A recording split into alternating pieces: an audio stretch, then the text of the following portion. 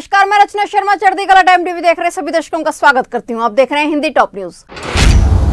होली के त्योहार के अगले दिन यानी कि आज देश में बड़ी राजनीतिक हलचल हो रही है। कांग्रेस का साथ छोड़ने वाले ज्योतिरादित्य सिंधिया भारतीय जनता पार्टी ज्वाइन करेंगे। दिल्ली में भाजपा अध्यक्ष जेपी नड्डा की मौजूदगी में सिंधिया पार्टी को ज्वाइन करेंगे। ज्योतिरादित्य सिंधिया अपने दिल्ली आवास से निकलेंगे। वे सीधा भारतीय जनता पार्टी के दफ्तर के लिए रवाना होंगे।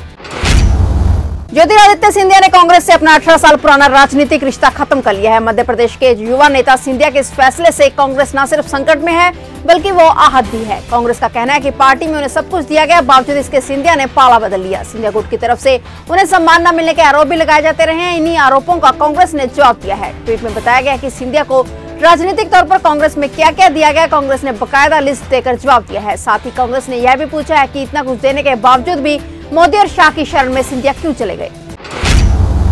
संसद के बजट सत्र के दूसरे चरण का छठा दिन है। लोकसभा में आज दिल्ली हिंसा पर चर्चा होगी और गृह मंत्री अमित शाह आज बयान भी देंगे। चर्चा के लिए दो घंटे का समय रखा गया है। संसद सत्र के पहले दिन से ही विपक्ष दिल्ली हिंसा पर चर्चा की मांग उठाता रहा है। होली के बाद संसद की पहली कार्रवाई भी हंगामे के साथ शुरू हुई।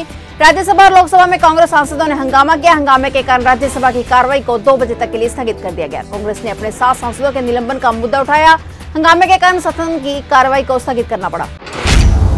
दुनिया भर के सौ से ज़्यादा देशों में पैर पसार चुके कोरोना वायरस से लोग दहशत में हैं। भारत में कोरोना वायरस की चपेट में उनसठ लोग आ चुके हैं। वहीं पूरी दुनिया में एक लाख दस हज़ार लोग इससे संक्रमित हैं। महामारी बन चुके कोरोना वायरस से 4011 से ज़्यादा लोगों की मौत हो चुकी है। चीन में मरने वालों की संख्या तीन हज़ार एक सौ अठावन हो चुकी है। वहीं इंडोनेशिया में भी कोरोना की एंट्री हो चुकी है। इंडोनेशिया में कोरोना से पहली मौत की पुष्टि हुई है। इस बात की जानकारी वहाँ के अधिकारियों ने दी है।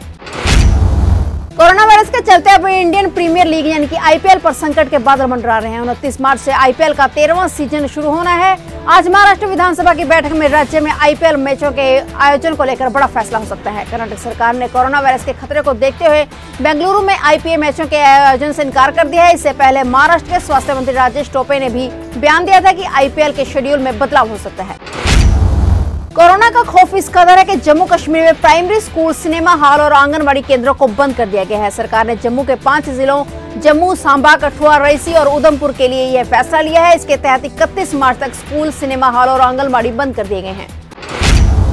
येस बैंकों के शेयरों में लगातार दूसरे दिन भी उछाल जारी है। बुधवार को येस बैंक के शेयर में करीब 25 फ़ीसदी का उछाल देखने को मिला। बेल आउट प्लान पर देखने को तैयार की खबर शेयर में तेज़ी से बनी हुई है। गौरतलब है कि कोरोना वायरस और येस बैंक की वजह से सोमवार को भी भारतीय शेयर बाज़ार में कोरा मच गया था। सेंसेक्स करीब दो हज़ार तीन सौ सत्तावन अंक गिर गया, वहीं निफ्टी में भी 600 अंकों से ज़्यादा की गिरावट दर्ज की गई है।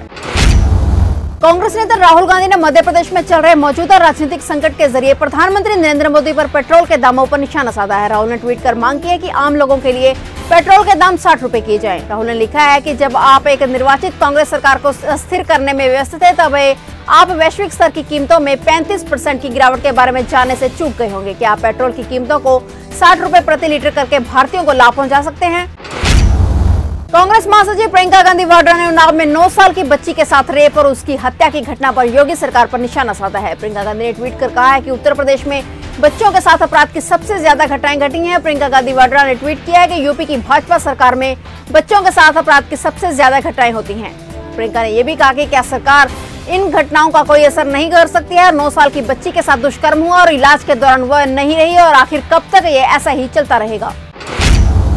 कमलनाथ सरकार पर आए संकट के बीच एक नई खबर यह भी है कि प्रदेश कांग्रेस सेवा दल अध्यक्ष सत्येंद्र यादव वापस लौट आए हैं। यादव ने अपना इस्तीफा वापस ले लिया है। बताया जा रहा है कि उन्होंने सेवा दल के राष्ट्रीय अध्यक्ष लालजी देसाई के कहने पर अपना इस्तीफा वापस लिया है। यादव ज्योतिरादित्य सिंधिया के खास माने जाते हैं।